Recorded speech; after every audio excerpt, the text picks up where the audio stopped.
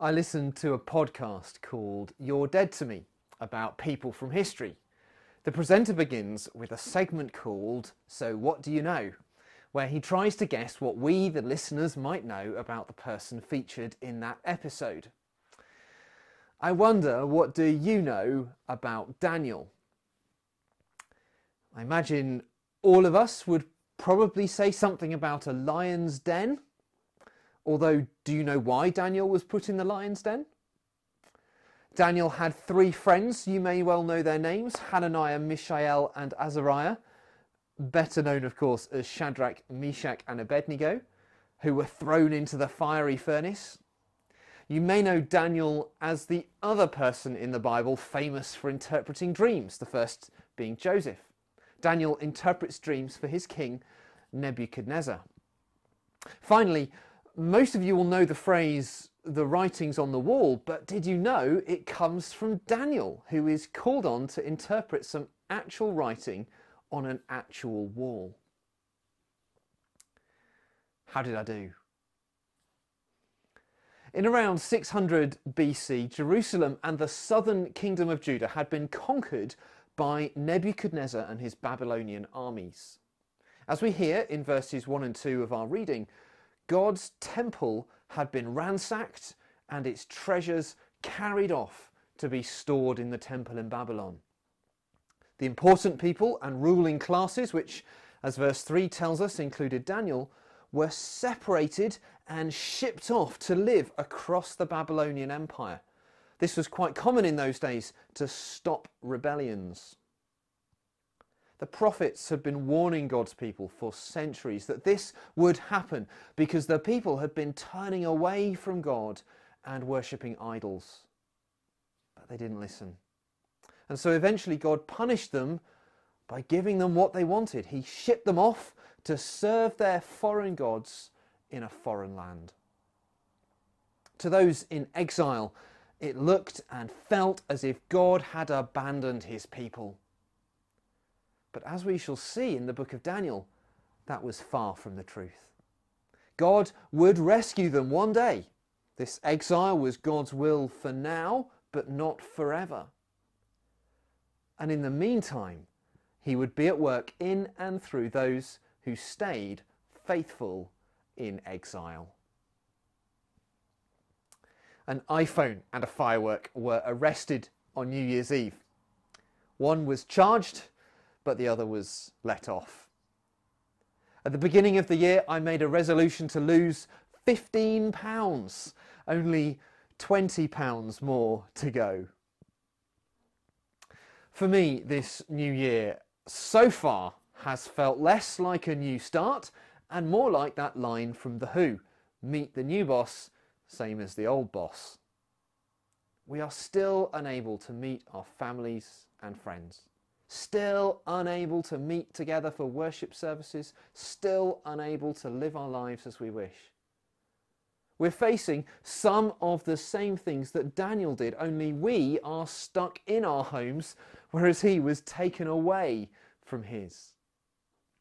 And actually, much of what he faced was far worse.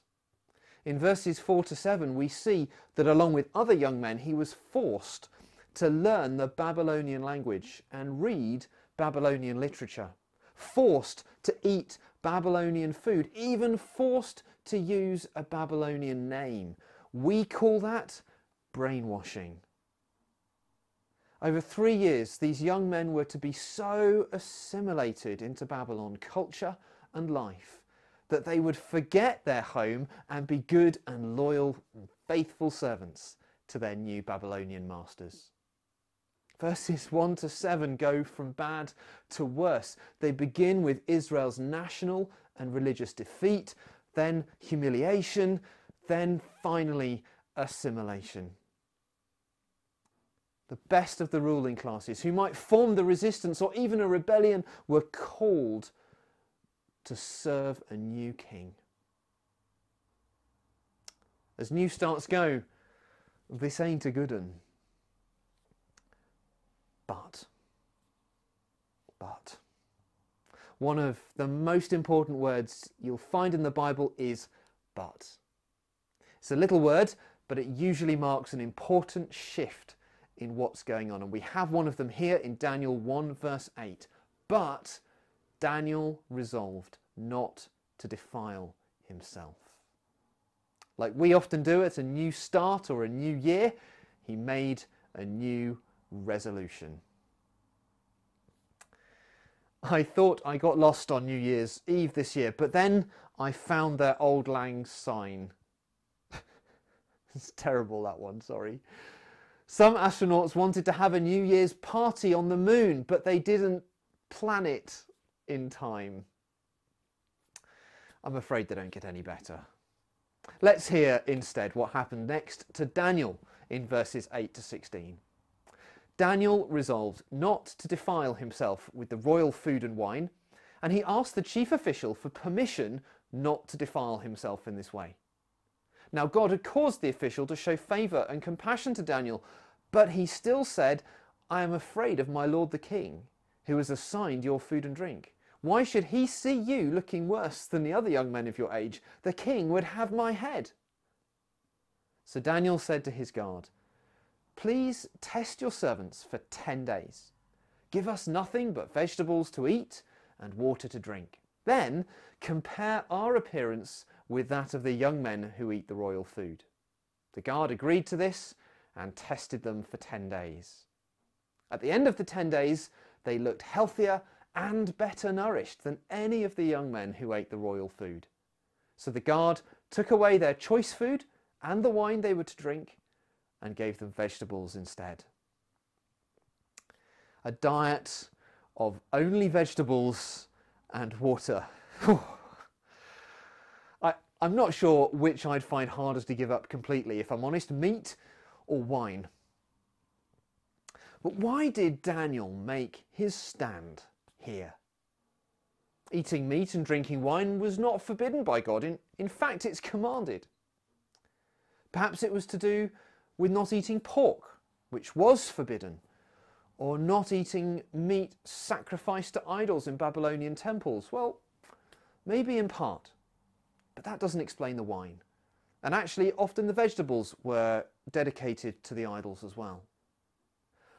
I think it was like a fast, like fasting, having a daily reminder that they were different, that they didn't belong to the Babylonians, but to God. It was a way of holding on to their true identity even while their masters tried to brainwash them. It would have been easier to give in completely, but they wanted to stay faithful in exile and not lose sight of who they really were. I read this and I wonder, what would I have done? Would I have made that same resolution as Daniel? Would I have had the courage to stand up for my faith amid such pressure to conform? And yet, friends, we face a similar pressure to conform today in this country. We don't have the threat of punishment by death hanging over us, but in many ways, our culture is brainwashing us. Maybe it already has we see and hear a constant drip, drip, drip of ideas about identity, about desire, about sex, about what's right and wrong, which are not godly, which do not come from God. And yet we in the church so often accept them as if they are gospel truth. And we even reject the Bible when it warns us that we are turning away from God. The exact same thing that God's people have always done the exact thing which led to them being exiled in Daniel's time. But that's not right. Daniel was, though. Daniel was different. He made a stand. He found a way of holding on to his identity in God in the face of the onslaught of Babylonian culture.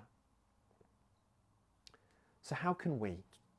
How can you hold on to your identity in Christ? How can you remind yourself every day of who you are to help you stand up instead of giving in? I'm not going to answer that. It's for you to think about this week. How can you remind yourself every day of who you are in Jesus? A retired man volunteered to entertain patients in hospitals and nursing homes. He went to one place with his portable keyboard. He told some jokes, sang some songs at patients' bedsides, and when he'd finished, he departed with a greeting and said, I hope you all get better. And one elderly gentleman replied as he left, I hope you do too. After three years of this, Daniel and his companions, well, I don't know how they felt, but verse 20 tells us that they ended up the best in the kingdom. Ten times better in wisdom and understanding than the rest. And what I love is that it had nothing to do with the training they received from their Babylonian masters. Verse 17 To these four young men, God gave knowledge and understanding of all kinds of literature and learning, and Daniel could understand visions and dreams of all kinds. God honoured their courage, their faithfulness. When Daniel stood up for God, he found he wasn't on sinking sand, but on solid ground. The Babylonians thought they were brainwashing these Jewish leaders, but actually, God was giving them gifts. Actually, God was preparing them for a life at the heart of the government of his people's enemies. Who's in charge? Well, it isn't Nebuchadnezzar. Even in the very heart of Babylon, the seat of this empire's power, God was at work through his faithful servants. Verse 21 ends this chapter with dynamite. And Daniel remained there until the first year of King Cyrus. Cyrus was not Babylonian, but Persian. He conquered those who had conquered and humiliated Israel.